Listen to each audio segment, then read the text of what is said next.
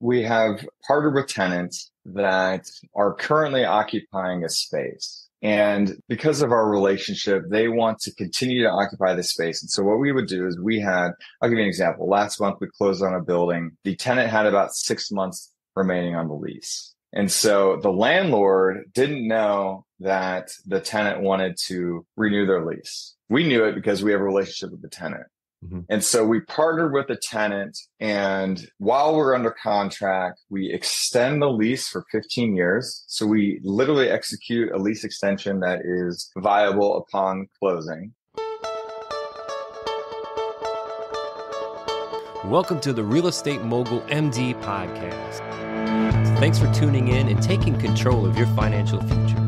This is a show where we not only motivate and inspire, we give you actionable, real world experience to help you live life by design. You'll hear journeys and stories from other physicians, investors, coaches, consultants, and entrepreneurs. And now, here's your host, Brett Riggins.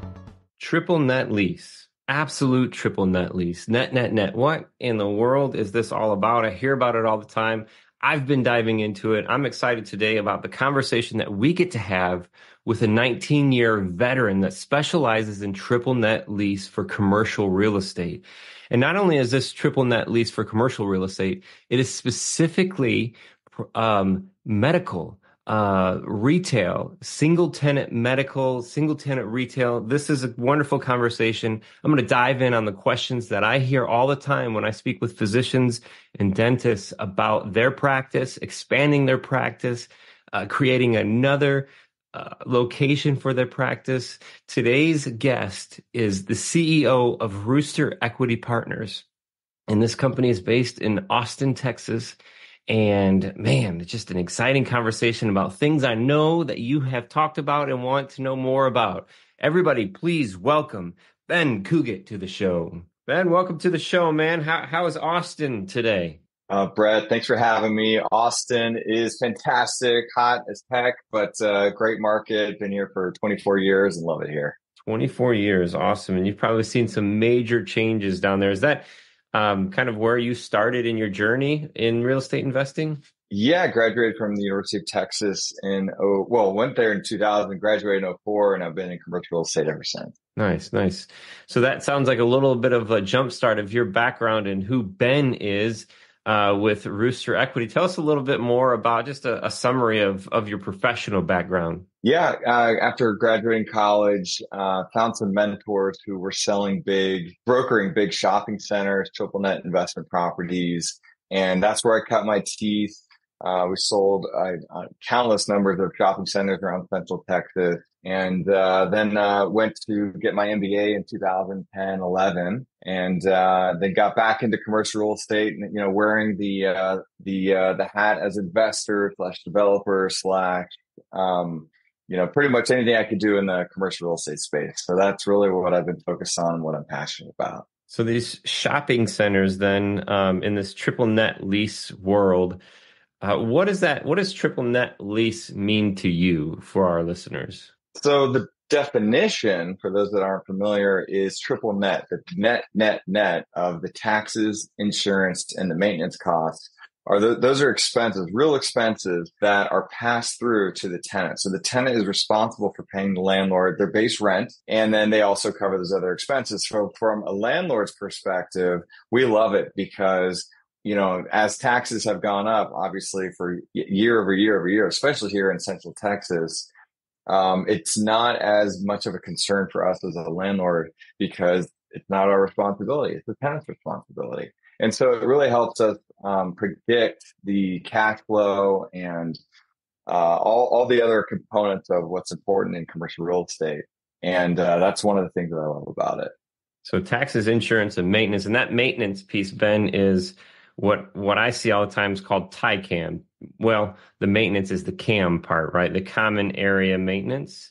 So when Correct. we talk about maintenance being covered in a building, and a lot of our listeners are physicians, um, maybe in that triple net situation themselves or owning properties and renting them out in that way. When we talk about common area maintenance, what maintenance typically falls on the building owner then when we speak about common area maintenance or the maintenance of the building? Tell us a little bit about your experience with that. So it's a it's an it depends moment. So it depends on the lease, but in a medical uh, perspective, oftentimes let's just you know assume that it's a multi-tenant medical facility. There's going to be landscaping needs. There's going to be uh, parking lot needs. There's going to be common area trash and water and all the things when windows break and roof leaks and lights on the parking lot and all those other things need to be maintained. And so the landlord will typically, so we hire a third party management to maintain it.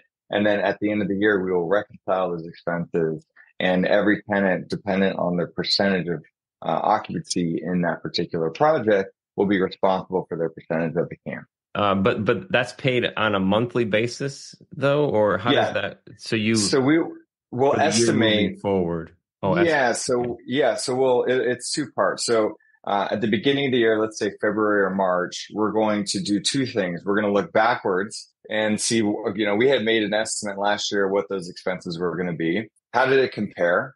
And you, you never hit it right on the penny. So there's going to be either the the landlord owes the tenant or the tenant owes the landlord, depending on how those shook out. And then you reset what the triple nets are going to look like for the next year.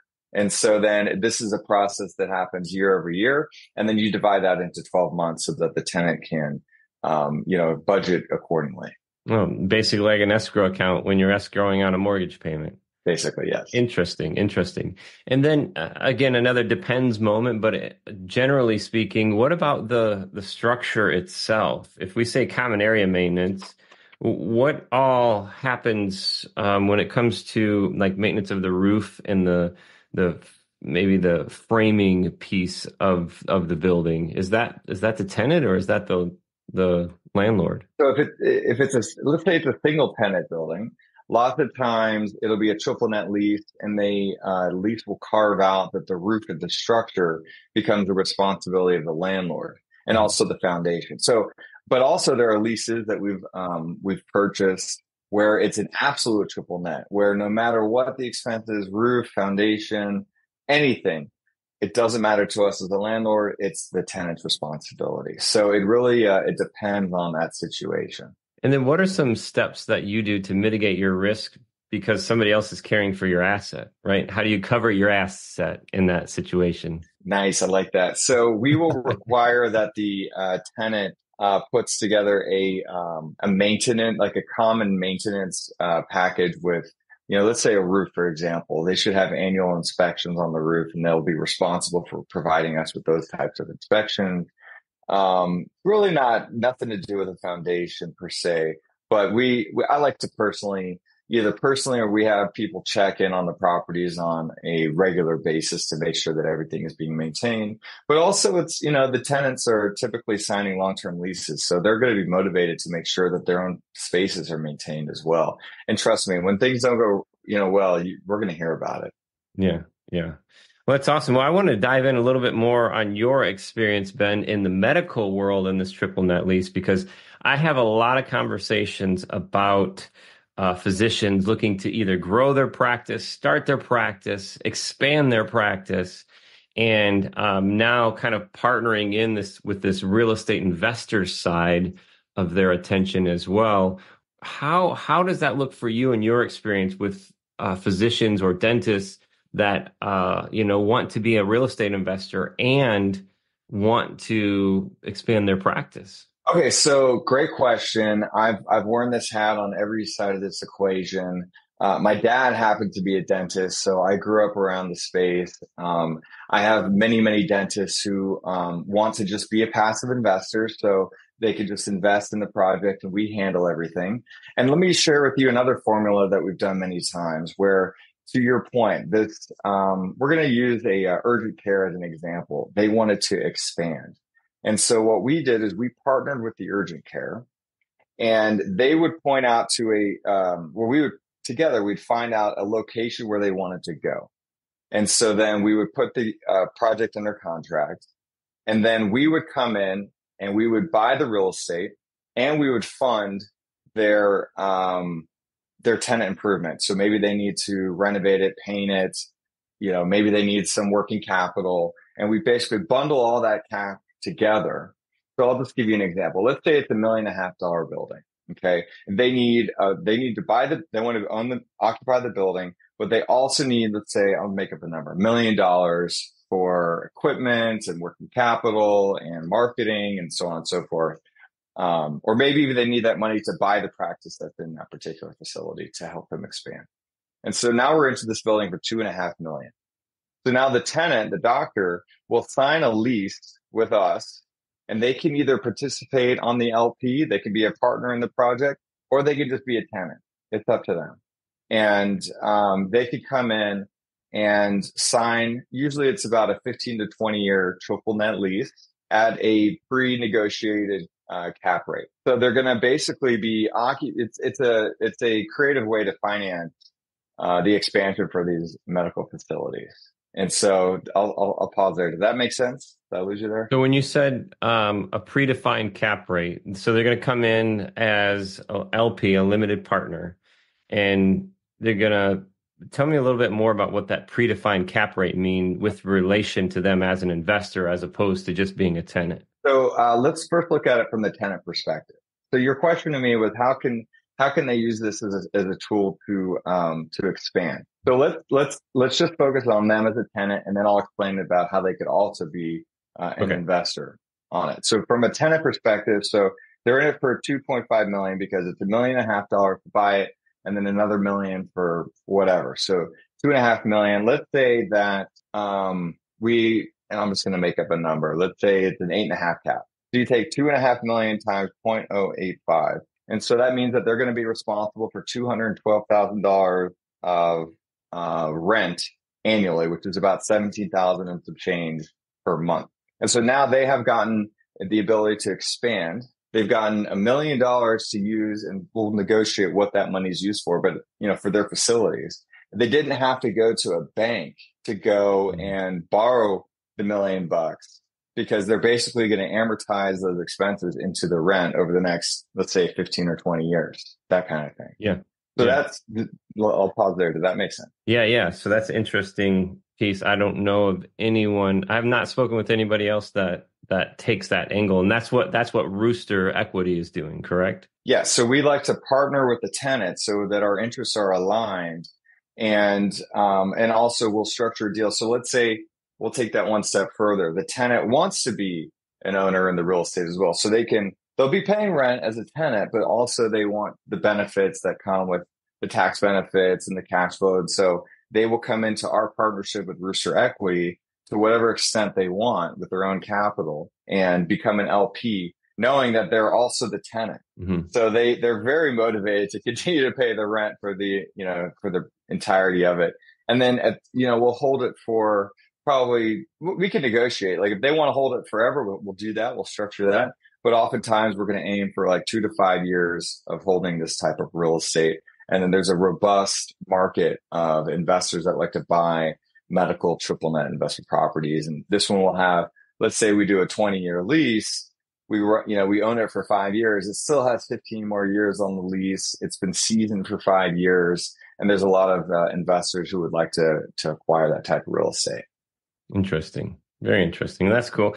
And what kind of, I guess, what's the most common opportunities that you see in this type of relationship so far? Just um, to, to kind of to what you were alluding to earlier, that there are um, medical professionals who are now learning because of you know podcasts like yours about the benefits of also being um, you know on the on the landlord side. You know, my dad's a dentist and he owned his dental condo for uh, over 40 years that he operated out of. And so at the end, he had some equity in that real estate that he was able to unlock when he retired a couple of years ago. Mm-hmm. And so there's nothing wrong with being a tenant all these years. There's a lot of benefits of just being a tenant, not having to worry about a lot of things as well. But what we're trying to do is, is, is educate people about the ability to, you can have your cake and eat it too. Mm-hmm. Yeah. Very cool. Um, how did you get into the medical world then from the shopping piece into the medical world? Is that related to your father being a dentist? No, it's just that a lot of medical space, you know, it used to be back in the day that medical space was primarily in medical offices, which we do also invest in medical office buildings. But um, what you see now is a lot of medical groups that are occupying retail space. You know, shopping centers, you know, people said, oh, you know, retail is dead. Amazon and this and that. And it's like, no, retail is not dead. You can drive around in the Carolinas or really anywhere in the United States, and you're going to see that retail space, you know, and here in Austin, it's 97% occupied. And it's because you, are not going there to go shopping, but you're going there to go get your, you know, dent, your teeth cleaned. You're going for, you know, an urgent care because you cut something or you have your nails done or you have, you know, grocery and those types of things. And so retail, uh, you know, during COVID, retail was a scary thing but now it's it's probably one of the hottest you know subcategories of commercial real estate mm-hmm. and so we have seen time and time again that this is uh, this is what's happening i mean you're seeing medical groups getting uh, rolled up into big corporate organizations and a lot of them love being front and center with visibility which is where retail typically is to the masses cars driving by and that you know with these big flashy brands and you know like we didn't used to see all these big uh, dental brands, but now like they're all getting rolled up as corporate entities. Yeah. There's just there's something that cannot be replaced by this idea that the brick and mortar is gone is the fact that you got to be touched by someone at some point and you cannot do that you know over the internet so there's certain um, practices and trades that just will not be uh, removed and they have to have that location inside of these locations ben what when you say um, blend and extend the lease. What does that? Tell us a little bit more about that. Yeah. So what we did um, is we we have um, partnered with tenants that um, are currently occupying a space, and they um, because of our relationship, they want to continue to occupy the space. And so what we would do is we had, I'll give you an example. Last month we closed on a building. The tenant had about six months remaining on the lease. And so the landlord didn't know that the tenant wanted to renew their lease. We knew it because we have a relationship with the tenant. Mm-hmm. And so we partnered with the tenant.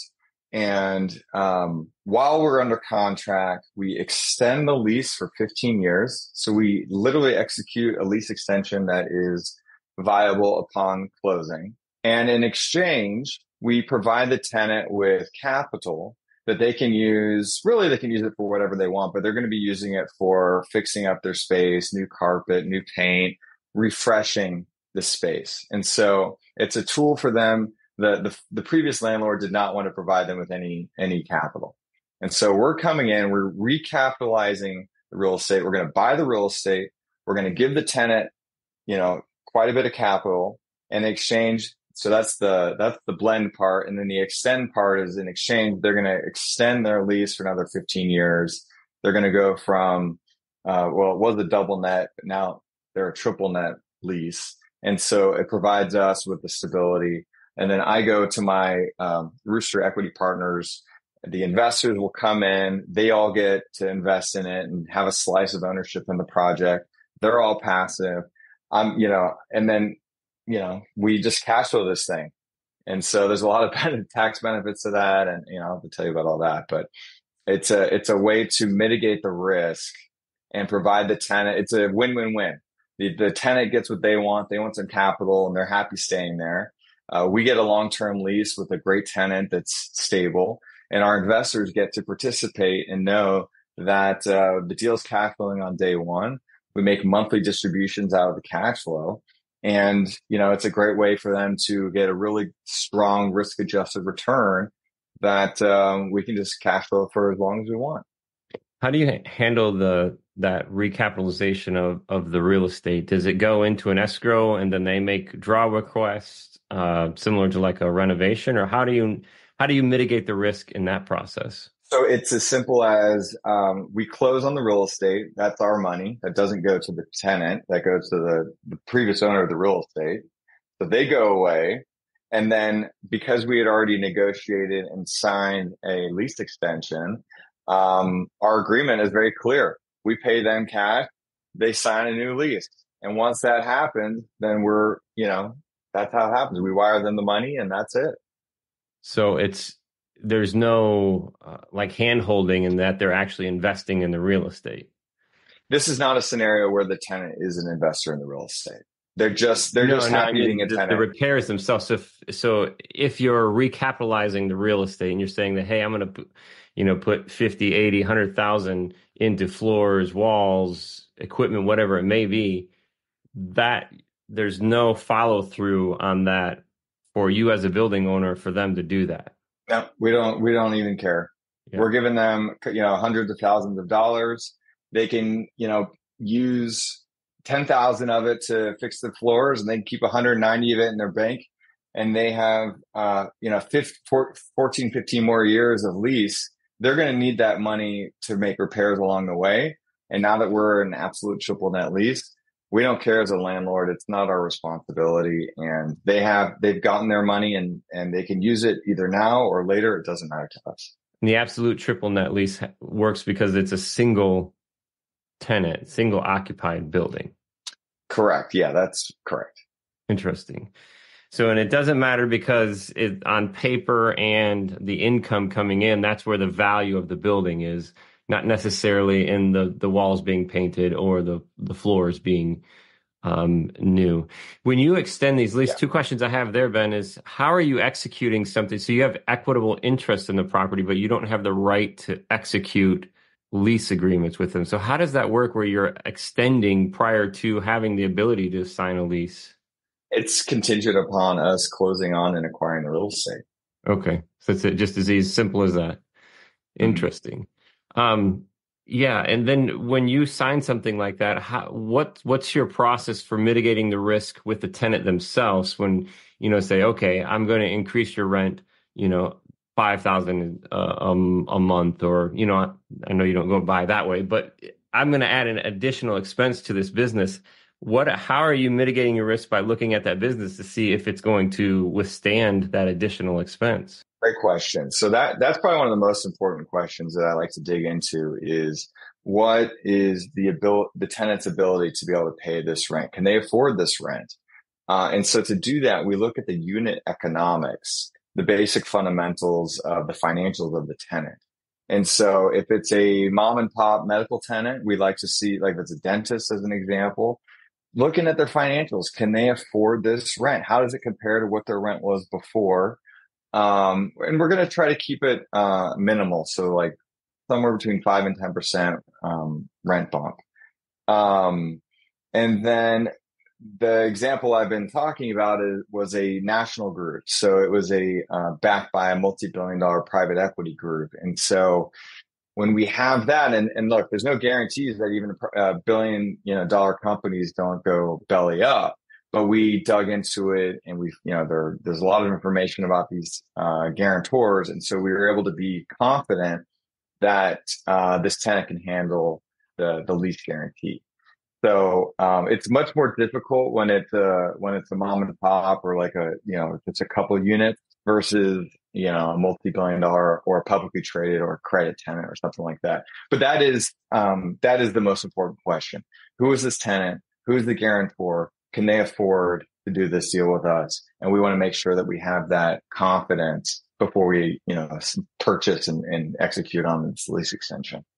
And when you look at the financials, are you looking at like just the T12? Or are you asking for, you know, two years, three years of P&Ls? Yes. So in commercial real estate, it's, it's got to be more than just the last 12 months. I mean, that's, that's very much like a multifamily mentality. Like we're, we're looking at the business itself, the bottom line, and, uh, yeah, for the last, you know, as many years back as we can go.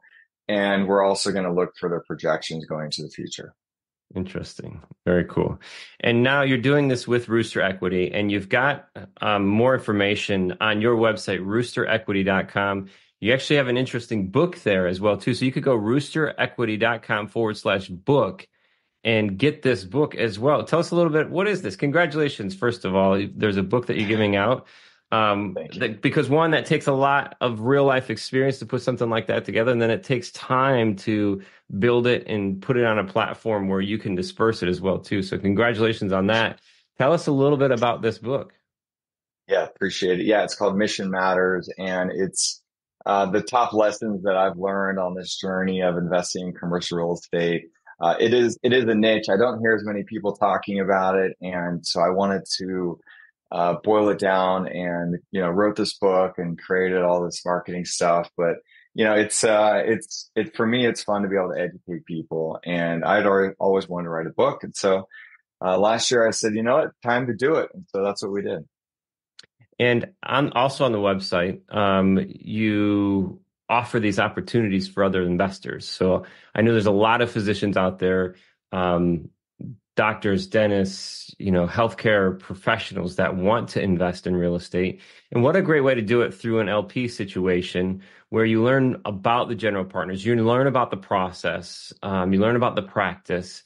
So, what is a way that the listeners could learn more about what Rooster Equity is um, through the website and how they can invest with you? What kind of stuff you got going on right now?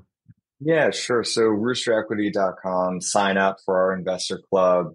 Um, you're you're basically going to deal with me, so you're going to get to know me personally. We're going to have a Zoom conversation. I mean, that this whole thing is about relationships, and um, we're our goal is to put out a new uh, opportunity every other month. And the goal is to have long-term lease, great tenants, uh, monthly cash flow. And, um, yeah, I mean, they're all, they all stand on their own and we've done, uh, over 40 of these so far. And we're just, uh, trying to make sure we, you know, take care of the investors along the way and, and take care of everybody along the way. So just, just basic fundamentals mm-hmm. of uh, commercial real estate investing.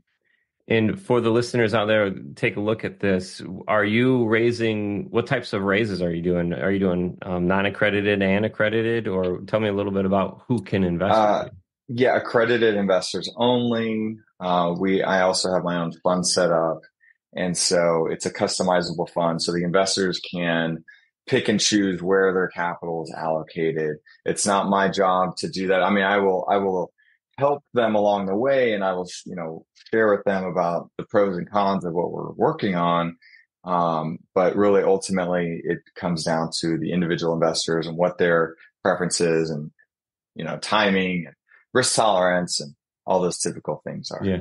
When when you you talk about this customizable fund where you can choose where the where the money is going, what properties, what assets these are being allocated to, does the depreciation still tag along in that fund uh, setup? Mm-hmm. Yep, it's all passed through. Uh, just it's all determined on what they're, however much they invested, and you know we'll have typically depends on the deal, but typically uh, we'll do a uh, third party cost seg study so we can figure out what the depreciation benefits look like, and the investors will get their portion of those tax losses.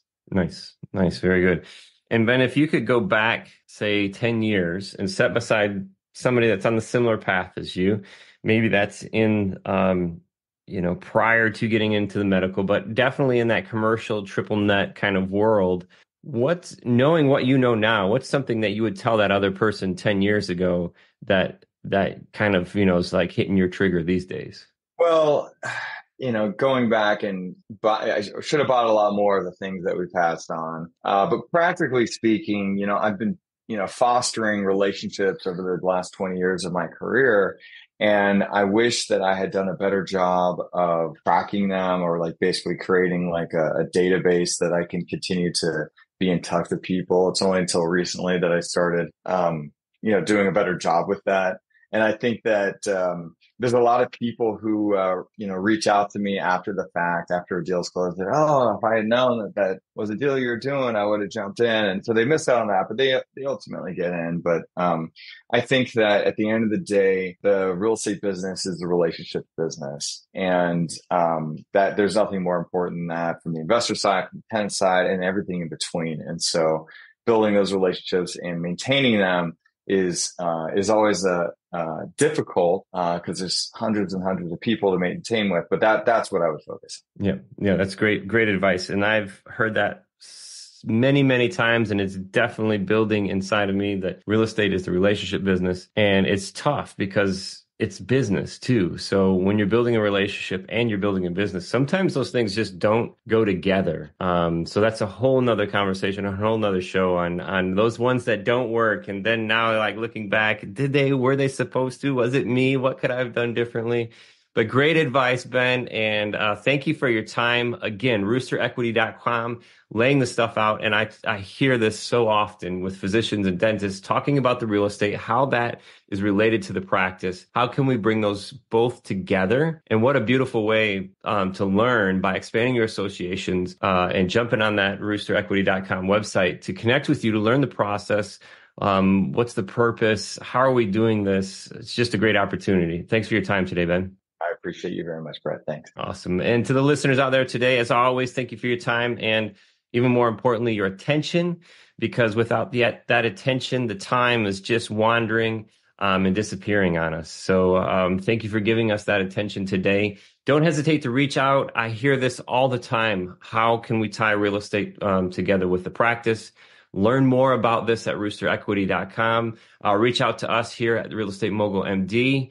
Uh, shoot us an email. And until next time, this is Brett. This is the Real Estate Mogul MD.